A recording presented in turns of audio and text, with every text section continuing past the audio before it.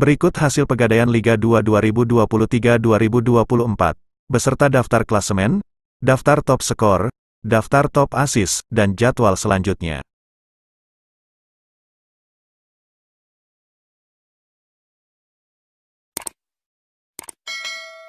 Hasil playoff degradasi, Selasa tanggal 16 Januari tahun 2024, PSKC Cimahi menang 1-0 melawan Perserang Serang. Kemudian Sriwijaya FC menang 3-1 melawan Sada Sumut United. Nusantara United menang 3-2 melawan Persikap Bandung. Dan PSDS Deli Serdang kalah 1-3 melawan PSPS Riau.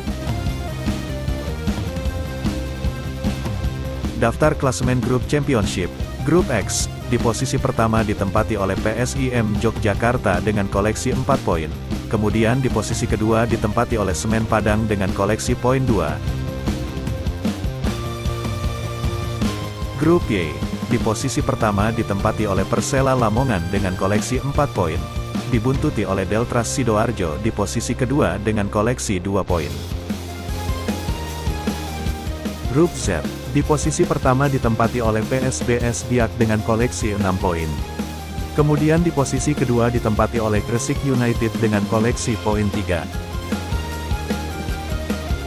Klasemen grup playoff degradasi. Grup A, di posisi pertama ditempati oleh Sriwijaya FC dengan koleksi 7 poin.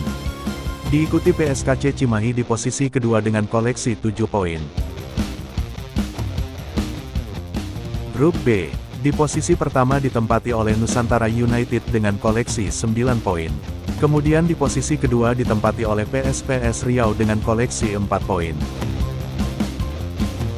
Grup C, di posisi pertama ditempati oleh Persijap Jepara dengan koleksi 6 poin. Sedangkan di posisi kedua ditempati oleh Persiba Balikpapan dengan koleksi 3 poin. Dan untuk grup D, di posisi pertama ditempati oleh Kalteng Putra dengan koleksi 4 poin. Dibuntuti PSCS Cilacap di posisi kedua dengan koleksi 3 poin. Daftar top skor sementara, Vieira da Silva memimpin dengan koleksi 14 gol. Diikuti oleh NG Woke dengan koleksi 13 gol.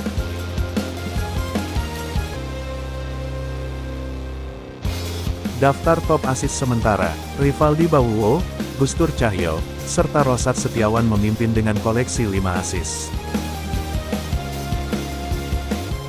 Jadwal playoff degradasi, Rabu tanggal 17 Januari tahun 2024, Persipura Jayapura vs Kalteng Putra, jam 13. Kemudian Persijap Jepara vs Persipapati, jam 15. Persekat Tegal vs PSCS Cilacap, jam 15 dan Persiba Balikpapan vs Sulut United, jam 18.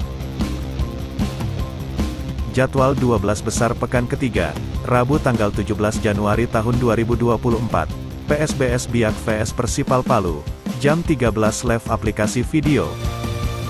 Kemudian PSIM Yogyakarta vs Persiraja, Banda Aceh, jam 15 live Indosiar, Lalu Gresik United vs Persewar Waropen, jam 15 live aplikasi video. Semen Padang vs PSMS Medan, jam 19 live Indosiar.